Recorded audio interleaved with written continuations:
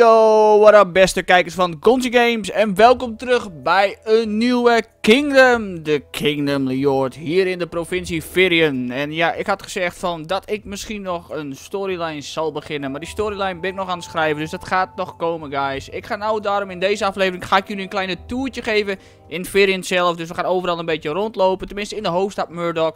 Ik hoop dat jullie het tof vinden en uh, ja, weet je, het is voor mij ook nog een beetje nieuw de stad, maar dan kunnen jullie een beetje kijken van... Hoe ver zijn we nou? Hoe gaat het nou? Nou, simpel staat. Dit is eigenlijk de muur waar ik nog steeds mee bezig ben. Ik ben al aardig ver en uh, het schiet al mooi op. Dus uh, ik ben er trots op. Laten we het daarop houden. Ik hoop dat uh, jullie het ook mooi vinden. En nou ja, ik heb nog allemaal tools en zo en shit bij me. Dus op zich is het wel grappig.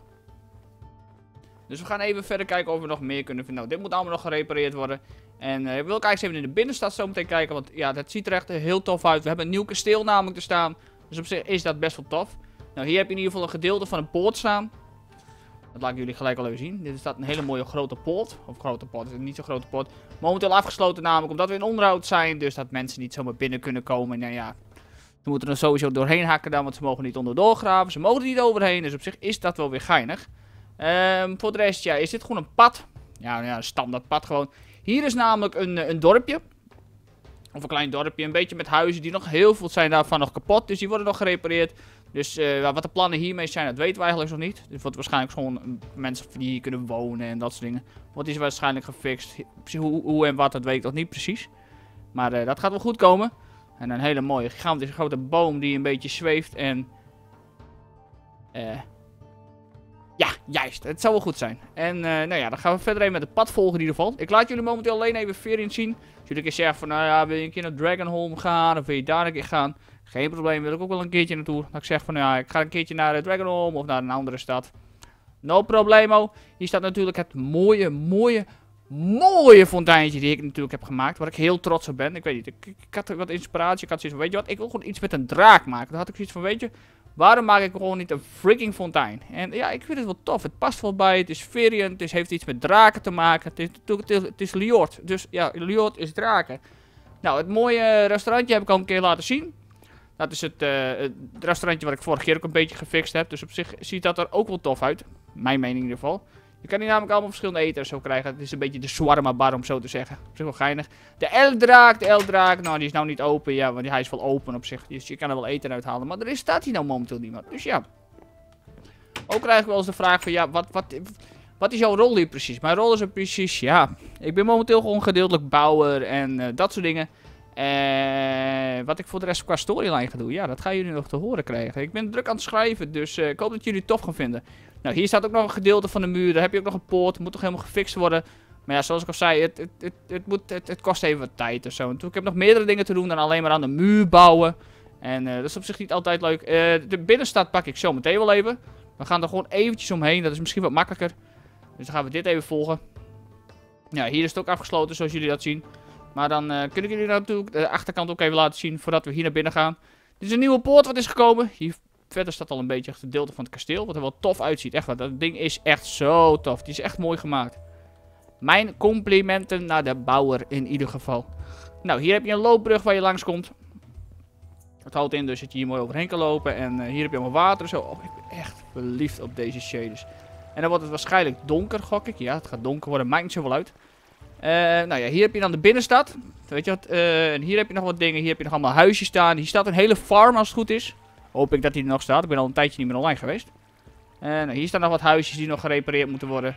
Hier heb je een mooie molen. Hier heb je onze disco schapen en een konijn. Er hangt, serieus, er is hier gewoon een invasie qua konijnen, qua alles en what the fuck. Nou, hier staat dus die mooie molen. Hier hebben we allemaal worteltjes. Worteltjes niet, nee, dit zijn potatoes allemaal.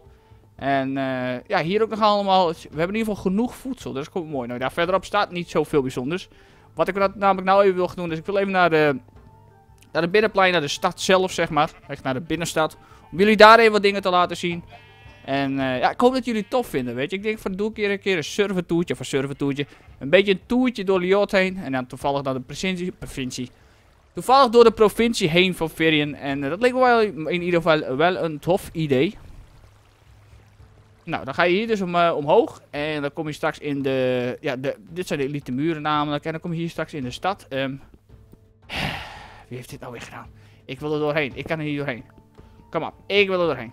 Dit is niet leuk. Ehm... eh, Oké, ik ga eerst deze muur weer even fixen. Zo. Ik wil er even doorheen, want zo kan ik namelijk geen resources krijgen. En dat is niet leuk. Dus dan gaan we dit even weghalen. En dan gaan we die even weghalen. Zo, ik kan er in ieder geval weer doorheen. Daar ben ik heel veel blij om. Nou, dan kom je hier dus op de binnenkant. Aan het begin, we hebben hier alles moeten weghalen. Als jullie niet weten hoe het eruit zag, kijk dan even terug naar de video van eh, Joris. Dat is geloof ik twee of drie video's geleden. Denk ik ongeveer. En dat was hier allemaal kraat, dus alles was hier kapot. Er stond echt overal ijs en we zijn echt druk bezig geweest om alles te restaureren. Alles er weg te halen en er zijn zoveel dingen bijgebouwd. Zoals deze mooie fort, Fort Lionton, als het goed is. Ja, Fort Lionton, ja, zo heet het namelijk. Is onze uitvalbasis en zo, dus daar worden we aangevallen, kunnen we daarin. Dus op zich is dat wel een leuk idee. Hier hebben we nog allemaal paardjes staan. Hier hebben we nog natuurlijk allemaal witte bunny finish. Bunny finish. En dan hebben we hier het, eh, het oude huis van Joris. Van koning Joris. Als we even terug gaan naar de roleplay. Hier heeft hij vroeger altijd gewoond, dus helemaal gerestaureerd. Nou ja, daar verderop moet alles nog even gemaakt worden. Dus dat is, moet nog gefixt worden en dat soort dingen. Hier hebben we de bunnyfukkerij. Zo wordt het genoemd. Hier hebben wij een mijn. En dat is zoals ook al helemaal afgesloten. Waarom is hier alles afgesloten? Kom op. Ik wil er doorheen, want ik heb resources nodig. Dat is gewoon zo. Nou, dan ga je hier in principe naar beneden. En hier is het ook al dichtgemaakt. Jongens, jongens, jongens, jongens. Kom op. Ik wil er wel een beetje doorheen kunnen, hè. Zo. Kijk, is het nou wel veilig? Vast zeker wel. Kijk, nou kan ik in ieder geval fatsoenlijker doorheen. En dan heb je hier zeg maar een soort met brug. Hey, ehm. Ehm. Ehm, volgens mij moet ik hier doorheen kunnen. En er zit hier als het goed is ook nog allemaal kisten. Kijk, kijk, kijk, kijk, kijk. Ze hebben alles gewoon stiekem verstopt. Ik snap ze wel. Ja, ze denken dat we worden aangevallen en dan staat hij weer voor alles. Nou, dat gebeurt nou mooi niet. Want ik wil er doorheen. Kijk, nou hebben we hier in ieder geval een, eh, een stone generator. Dus in principe dat druk je hem aan, zeg maar. En dan... eh normaal gesproken. Kijk, kijk, kijk. En dan komt er allemaal stone. Dus die stone kun je weghaken. Heb je hier toevallig een silk pickaxe, zeg maar, dan, krijg je allemaal stone. Normaal gesproken is dan een cobblestone generator. Maar hier hebben ze dus een stone generator van gemaakt. Is natuurlijk tof, handig. Want ja, we hebben heel vaak stone bricks nodig. Nou ja, hier hebben we dan allemaal de chester room en dat soort dingen. Hier heb je nog een hele klote kant naar buiten. En dan kan je hier nog naar beneden. En er valt echt serieus. Er zijn hier zoveel dingen wat je nog kan laten zien. Eh, maar er moet nog heel veel gemaakt worden. Vandaar dat ik dus nog niet alles laat zien.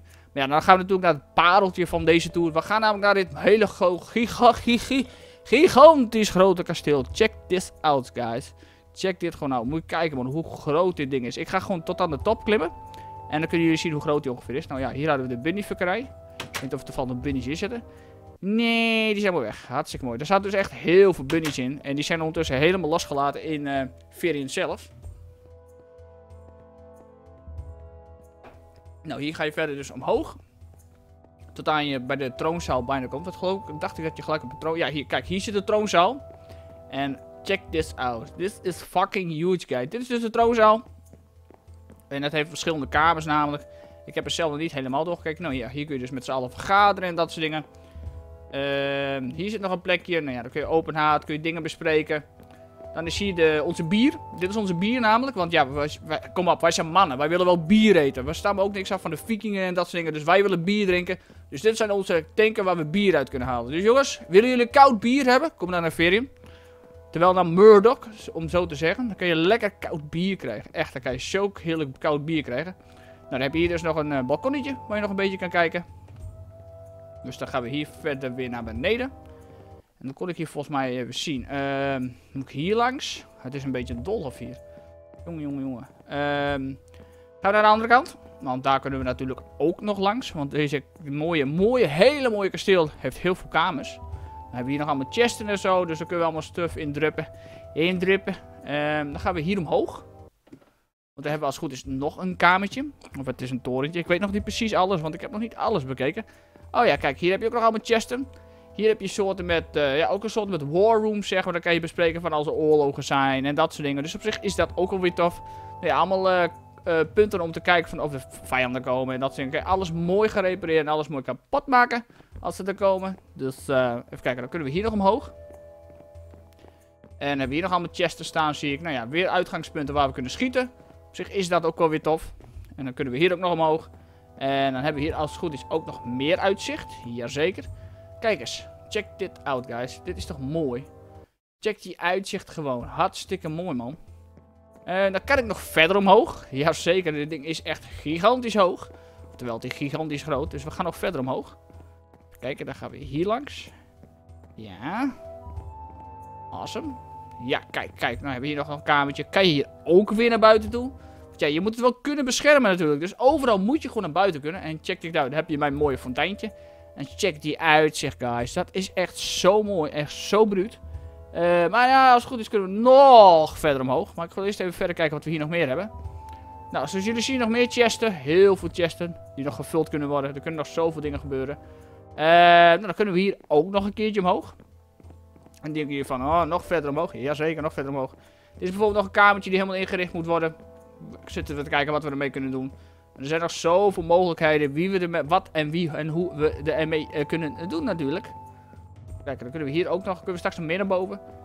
Nou, hier kan je dus een torentje in. Nou, dat is heel simpel. Dan ga je hier omhoog en dan zit je in een torentje. Nou ja, dan heb je hier dus een beetje een, een, een soort met, ja, wat zou ik zeggen, een beetje chillroom waar je lekker kan relaxen. Uh, dingen kan bespreken en misschien een boekje pakken uit je boekenkast, weet je wel. Misschien, misschien stiekem wel een romantisch boekje, je weet het maar nooit. Want wie weet bloeit er wel romantiek in Virion, je weet het maar nooit. Nou, dan gaan we hier weer langs. En dan gaan we weer terug naar die kant, want dan gaan we nog verder omhoog. Jazeker, we gaan nog veel verder omhoog. En dan hebben we straks echt hele mooie uitzicht, waar ik echt heel trots op ben. Even kijken, dan gaan we, ja, doe maar, ja, gaat u maar, ja, ja, ja, kijk, kijk. Nou, dan gaan we hier met de ladders omhoog. En dan gaan we tot aan de top. Dus dat is wel een, eindje in ieder geval. En uh, ja, ondertussen gaan wij uh, nog verder omhoog. En dan gaan we nog verder omhoog. Had ik al gezegd dat we omhoog gingen? Jazeker. En dan zijn we op de top. En check this out, guys. Dit is de top van het mooie kasteel van Murdoch. En check die hoogte. Holy fuck, wat een hoogte. Serieus, als jij hier enemies komen en die hebben zoiets van... Hé, hey, je hebt een grote bek. Hé, hey, hé, hey, nou, hé. Hey, hey. Kom eens heen, kom eens heen. Sorry jongens, het spijt me, spijt me. Check je uitzicht. En dan hebben ze zoiets van... Wauw, en dan sta jij... This is Virion. Bam, en dan schap je ze naar beneden. En dan zijn ze natuurlijk dood. Maar check dit out, guys. Check dit freaking out. Hoe mooi dit is. Echt waar. Als je naar beneden valt, ja, dan ben je dood. Maar hier, check dit. Je hebt gewoon overzicht over alles. Als ik mijn render distance nog verder zit, kan ik misschien wel even doen. Even kijken. Uh, options, uh, video settings, als ik mijn render distance nou zijn op uh, eh, 19 zet. Hoe ver zou het dan komen? Kijk eens. Check this out. Dit is echt zo mooi. Je hebt hier echt zo'n mooi plekje. Echt. Oh my god. Check this out, guys. Hoe mooi kasteel is dit? Ik vind het echt, echt super tof. Ik hoop dat jullie dit ook tof vonden van uh, deze kleine tour door Murdoch heen, door Verian heen. En uh, willen jullie vaak van deze tours hebben of zo denk ik van, uh, ja Laurens, we willen dit wel eens even zien, willen dat willen zien, dit soort steden. Laat het achter in de reacties. Storyline ga ik verder met schrijven. Wanneer de storyline precies komt, zien jullie wel zodra het echt klaar is. Dan komt de eerste video natuurlijk online. Het gaat een beetje, kan jullie spoilen, het gaat een beetje over mijn verleden aan het begin. Het gaat een beetje switchen van het heden naar het verleden. Hoe ik in Jord ben gekomen. Waarom ik namelijk nou uh, onder koning Joris val. En ja, dat soort dingen eigenlijk. Dus ik hoop dat jullie dat tof gaan vinden. Voor nu wil ik jullie bedanken voor het kijken naar deze video. Vergeet niet het belangrijke blauwe duimpje. En dan zie ik jullie de volgende keer weer terug bij een nieuwe Kingdom Jord in uh, provincie Verien. Of misschien wel ergens anders. Bedankt voor het kijken. Later.